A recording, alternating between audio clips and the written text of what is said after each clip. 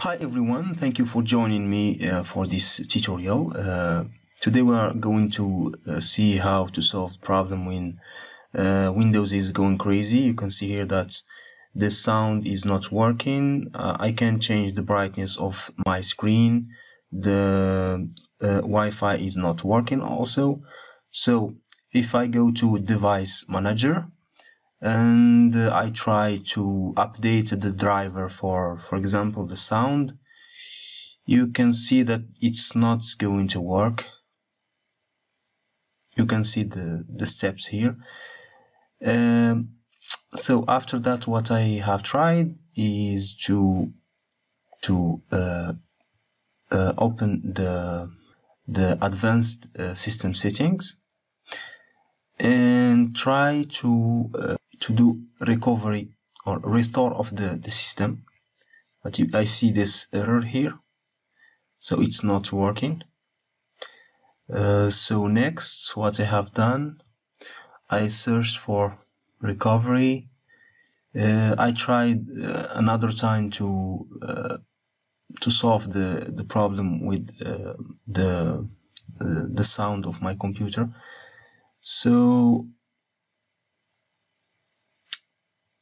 I tried some uh, Windows tools here like find and fix audio recording problems.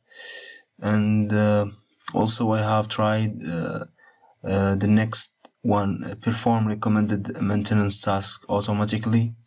But you you are going to see that it's not going to work. Either way it's not going to work. So uh, after all these uh, uh, steps uh, when I click on recovery open the system restore. Utility you can see I have also this problem. Uh, it's not it's not working. Either way it's not working. Uh, uh, you can see the types of errors that I'm encountering here. So now I'm going to try the recovery from uh, um, uh, from this Windows uh, settings. Uh, I will search here too for system recovery uh, or or restoring the the, the, the, the, the version of my system to a previous version so I see this screen so there are two choices keep my files or remove everything.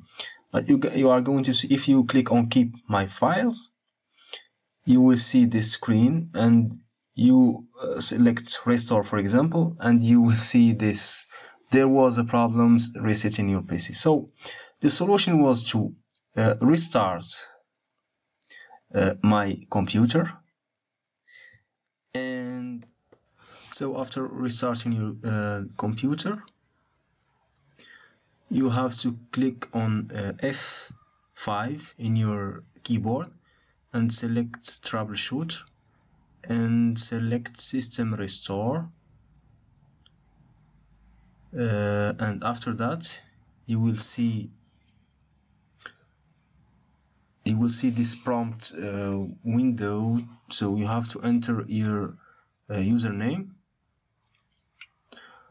right here. Uh, my username is PC and you type your password and click continue. And uh, you will see this uh, restoration uh, window. You click on next. So after clicking on next you select uh, the version you want uh, your windows to be restored to uh, so I have already a restoration point. So I select it and click on terminate or end or next depending on the version the language of your windows. And uh, click on yes. And you this should take some some some time and but after after that you will see this uh, uh, window. Uh, and thank you for watching